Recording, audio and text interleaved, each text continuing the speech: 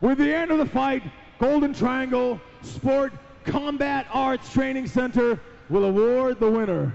Round one. Κυρίες και κύριοι, φτάσαμε στο co-main event της βραδιάς. Αγώνας τίτλου για heavyweight κατηγορία. 5 γύρι των 5 λεπτών σε αγώνα MMA στα συν 105 κιλά. Στην μπλε γωνία Βαγγέλης Κόης. Αθλητής μεικτών πολεμικών τεχνών με 2 νίκες και 0 ήττες από το Hellas Combat Jiu-Jitsu Team. Στην κόκκινη γωνία Βαρτάνα Παριάν.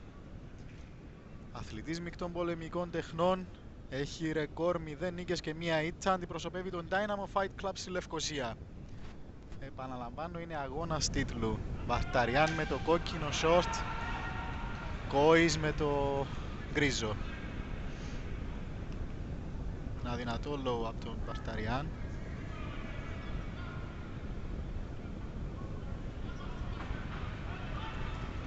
Βλέπουμε τον Κόη να προσπαθεί να μπει δυναμικά.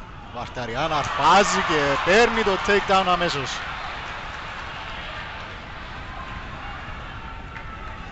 Πολύ επιθετικά ο Βαρταριάν καθώς έμπαινε ο αντιπαλός του εκμεταλλεύτηκε τη δική του ορμή. Τον άρπαξε, τον ανέβασε. Ανέβασε έναν άνθρωπο 127 κιλά λες και ήταν πούπουλο και κέρδισε το takedown.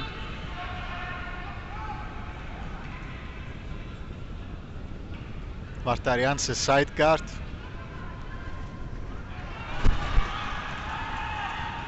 Ground and pound από τον Βαρταριάν.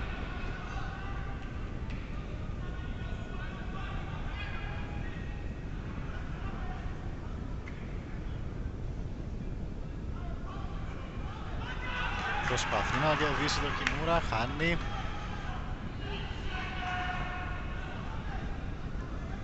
Κόης ο οποίος προσπαθεί να ξεφύγει, γυρνάει την πλάτη. Δεν είναι και πολύ έξυπνη η απόφασή του. Βαρταριάν. Απαριάν Βαρτάν, με συγχωρείτε. Κερδίζει την πλάτη του Κόη, προσπαθεί για το τσόου και το παίρνει. Ένας πολύ γρήγορος αγώνας. Βαρτάν Απαριάν νικητής με rare naked choke. Νικητής και